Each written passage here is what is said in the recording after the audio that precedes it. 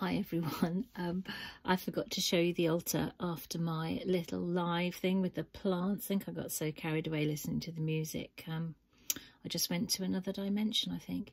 Anyway, I'm just going to very quickly show you how I'm going to set up a small summer solstice altar here in my space here today. I've got a beautiful yantra with the circle of life on made by uh, Glorious Esther from Moon Kestrel's Nest and I'm just going to pop a few little bits and pieces and things which I'm going to keep here in my room um, over the next few days just to help me tune in uh, to the solstice energies and things. So I'm going to start off with a beautiful uh, little um, crystal heart which is part of my chakra set actually.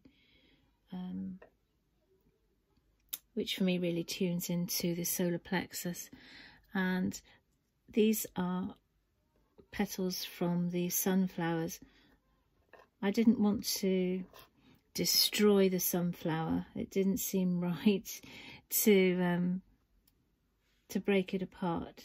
So the one that I was going to choose, these are all little petals that were all furling and ready to be picked what I do find when I'm working with nature, it's a real reminder about there is beauty in everything and everything doesn't need to be perfect.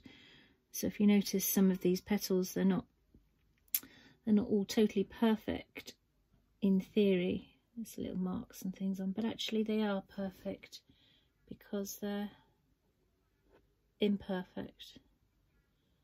So there's perfection in the imperfection. So I think yellow crystals are really important. So I've got some calcite here, which I'm going to pop. Gosh, they're quite huge, aren't they? Might pop them on here. This is what I find when I'm doing my grids and doing my work, is that you have a plan of what you think it ought to be like, and then actually when it comes down to it, it's not. Um, I love rose quartz. And so I feel that solstice for me is all about bringing joy and happiness and that's so close to love. And I think for this, from this moment on, if we can all bring love, to everything we do with love, it's going to help us get through all this stuff. Just going to slightly change and get some slightly smaller ones. I find that the crystals will always tell me whether they want to come on or not. I was just setting up this grid just now and I'd chosen some different crystals and managed to knock them all over the floor and in fact I can't find all of them so I could have taken that as a message that it's not right for them to come at the moment. So we've got some lovely orange calcite, rose quartz, there. Um, and I'm going to, these are flowers, beautiful roses from my garden. I love the fact that actually they're yellow and pink. They're really, really fragrant. In fact, I'm going to pop them in those bits. I find it's really calming to do these mandalas. It takes you to a place that's really important. And I've forgotten a massively important thing, which is to put my plant music on. What's that little this Rose here is all ready to sing us a tune. I had this all ready before everything decided to fall down just a minute ago. So I'm going to carry on making this mandala, um, this grid, um, just listening to some plant music.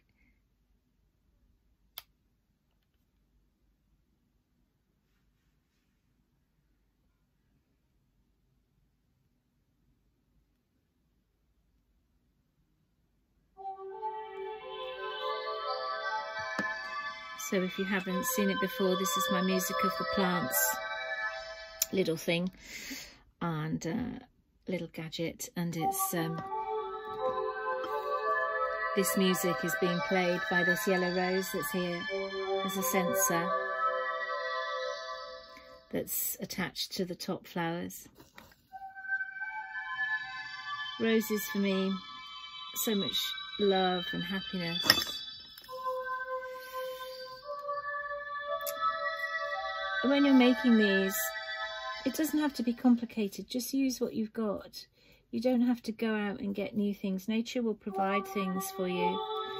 If you're a bit like me, you like to collect things, and collect things in little jars.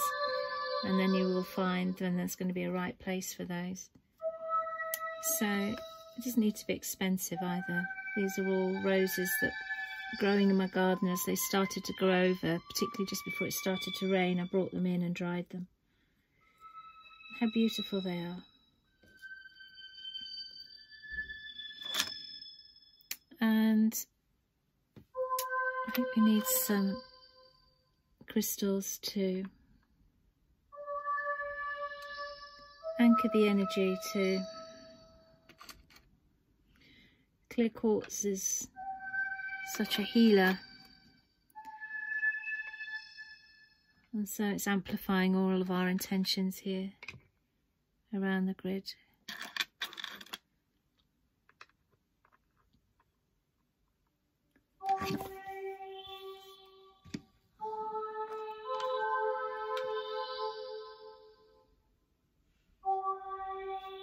And I'm just going to pop some yellow rose petals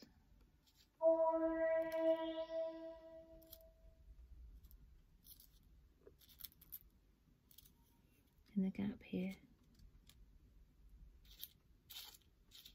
Do you like this little rose? I think she does. So they've actually come off this rose, which again I've dried. And these are the petals that have fallen.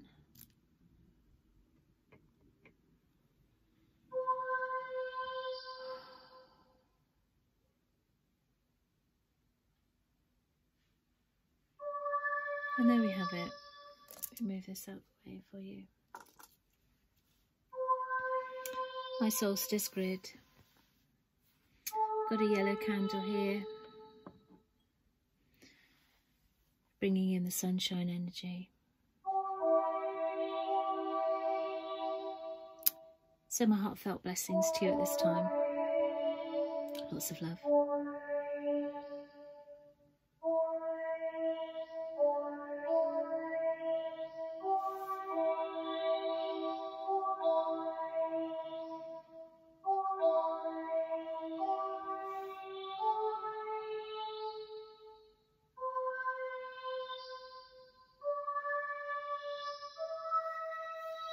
I haven't turned off yet because I'm just listening to the music.